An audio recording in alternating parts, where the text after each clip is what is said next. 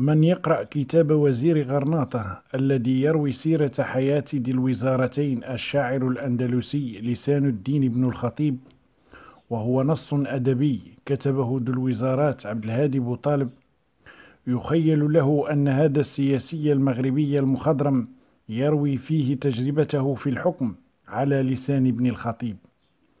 لكن المحقق هو أن أبو طالب كتب هذه السيرة سنة 1952 ولم يكن وقتها قد خاض غمار العمل السياسي في القصر والحكومة. وإن كان قد مر بالمعهد المولوي أستاذا لولي العهد الأمير مولاي الحسن.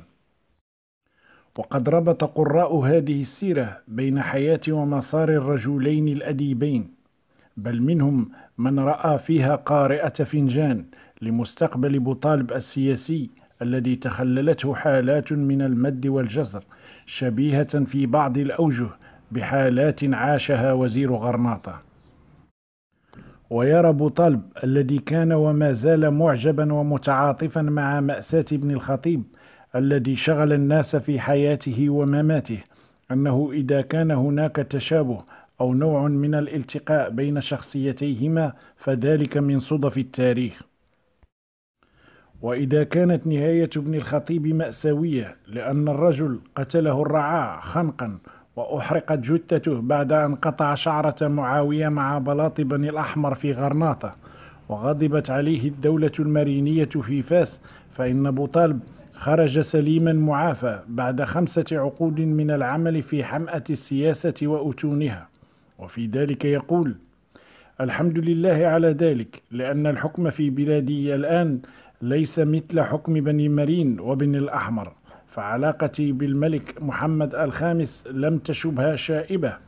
تدعم كلمة المأساة ونفس الأمر مع الملك محمد السادس الذي تجمعني به علاقة طيبة قوامها الحب والتقدير. في حين كانت حياتي مع الملك الحسن الثاني رحمه الله حياة لقاءات وتذكر وتفهم وتعاون صادق وإسداء النصيحة وقبولها إلى أن جاءت فترة معينة بدا فيها أن شخصيتي تصطدم قليلا مع عظم شخصيته الفدة. وأنا لم أقصد ذلك أبدا لأنني كنت أعمل بالحكمة القائلة قل كلمتك وامشي ويضيف قائلا كنت أقول الكلمة لا تلك التي تسهل لي استمرار البقاء حيث أنا ولكن تلك التي يمكن أن تسبب لي الابتعاد عما كنت فيه. قد تكون هذه الحكمة مفتاح شخصية بوطالب الذي يشكل نموذجا متميزا لعلاقة المثقف والسلطة فهو رجل لا يتنازل عن مبادئه وأفكاره قيد أنملة.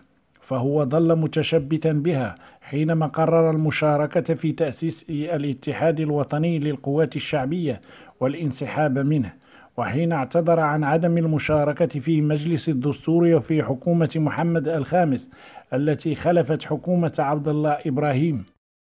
وحين تصادم أيام كان وزيرا للعدل ثم وزيرا للتعليم مع الجنرال أفقير حفاظا على حرمة العدالة وكرامة أسرة التعليم. وأيضا عندما اكتشف وهو وزير لخارجية بلاده أنه كان آخر من يعلم بشأن فحوى الاتفاق المغربي الجزائري بعد لقاء تلمسان عام 1970 ونفس الشيء عندما قرر عدم ترشيح نفسه لولاية جديدة على رأس برلمان 1970 لأنه علم أن قرار حله أصبح وشيكا. وبالتالي لم يسمح له كبرياؤه السياسي أن يقال عنه أنه كان رئيس برلمان محلول. كل هذا نقط في وادي تجربة بوطالب الغزيرة رواها لجريدة الشرق الأوسط على مدى أسبوعين في منزله بالدار البيضاء. كان خلالها سيل الذكريات يتدفق من علياء ذاكرته وقلما استعان بوثائق خاصة. في تلك الأثناء بدا لي أن الحسن الثاني هذا الملك الذي كان وما زال في خواطر المغاربة وقلوبهم حاضرا معنا. فأبو طالب رافقه وعايشه في أشد مراحل المغرب حساسية وحرجا مثلما بدا لي التاريخ حاضرا أيضا. فكل شيء في بيت بوطالب يفوح بعبقه. أو سمته التي تلقاها من رؤساء الدول صوره مع كبار قادة العالم وساسة المغرب لكن الصورة التي لفتت نظري هي صورة للملك الحسن الثاني كتب عليها إهداء يقول فيه إلى أستاذنا ووزيرنا السيد عبد الهادي بوطالب كرمز محبتنا وتقديرنا لشخصه داعين له بدوام التوفيق والسعادة.